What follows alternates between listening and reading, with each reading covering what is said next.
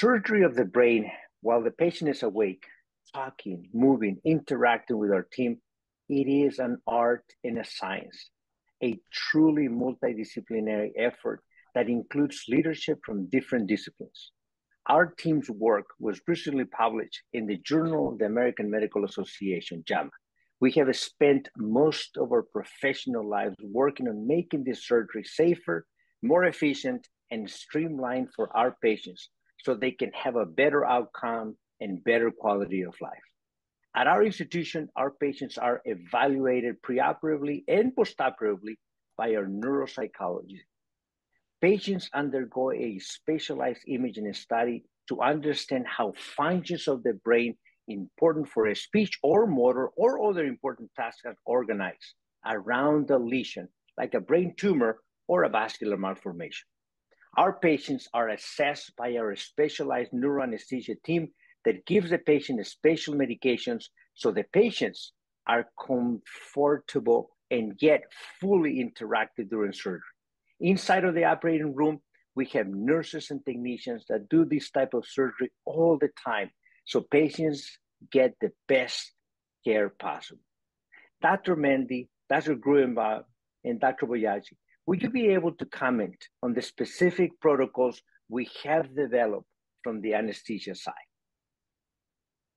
So, uh, Dr. Quinones, through our collaboration effort with the surgical team, we have developed standardized protocols that start in the preoperative area. And this helps the patient to have some time to meet the whole team in the preoperative area. So the last minute questions can be asked to alleviate any of the uh, questions. This is where also we start with the scalp nerve blocks so that we can more efficiently in our OR to start the process, which will also reduce pain and ensure that not only our patients are comfortable, but also they have the best possible care. In the operating room, we make sure that our patients follow specific protocols to ensure that they're not only comfortable, but they're able to become active participants in the awake mapping and testing paradigms that will be performed. This requires a system-based approach that guarantees safe anesthesia, control of vitals, control of pain, adequate management of sedation, and closed-loop communication with the surgical team to ensure that the timing is perfect and our patients can participate at key moments. We have a truly multidisciplinary team with the patient being part of that team in awake craniotomies. Our work highlights the level of coordination and focus uh, on patient care. It's the bedrock for our vision and the work uh, set forth for our team.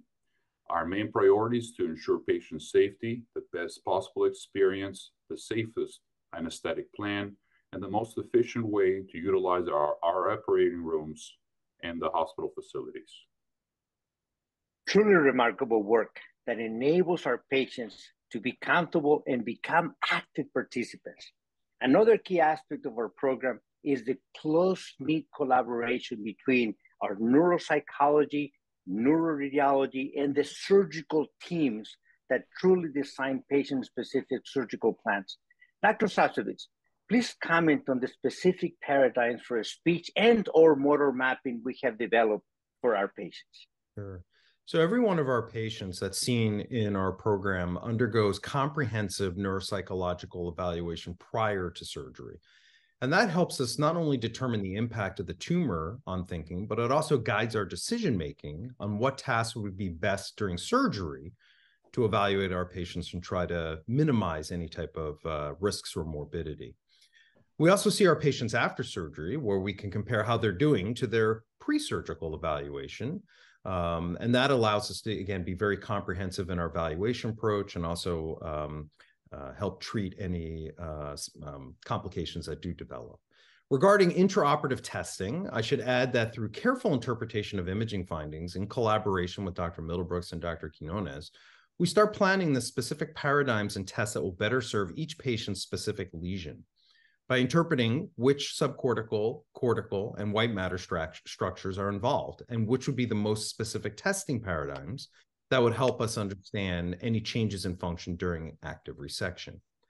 In the operating room, we use uh, NeuroMapper, which is a digital testing platform that contains comprehensive, conceptually informed language tests that measure not just our ability to, let's say, name a picture, but also a wide range of other linguistic or language functions that are maybe at risk during surgery. In addition, NeuroMapper contains paradigms that allow us to map non-language functions such as attention, higher level problem solving, and even multitasking. Amazing work. Dr. Middlebrooks, can you please comment on the specific imaging protocols that we have developed for our patients?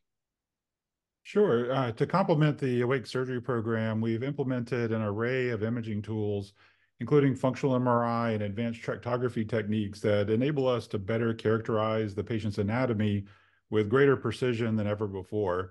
These tools, they help us to identify the areas where we have critical brain function to preserve and also the white matter tracks that connect those areas.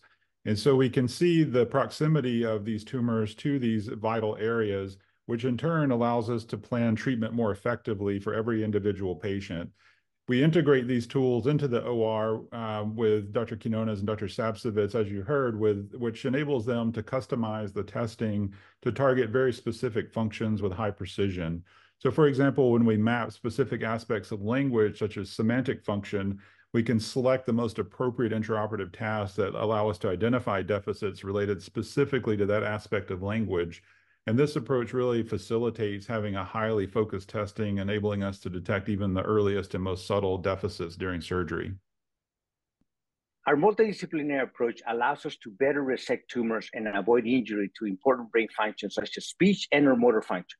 We employ state-of-the-art imaging, neuropsychology, neuroanesthesiology, surgical tools, and surgical methods, as you heard from our team, to optimize our workflows so we can serve more patients and improve their outcomes.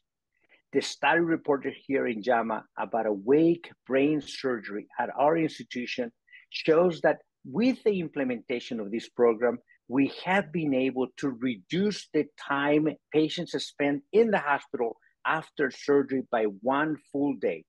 We have also reduced the time they spend in the intensive care unit, and we have reduced the risk of readmission by over 60%. We have also reduced the one year mortality while ensuring quality of life and patient care at the highest levels. We thank you and hope that you get a chance to read our JAMA publication. Thank you.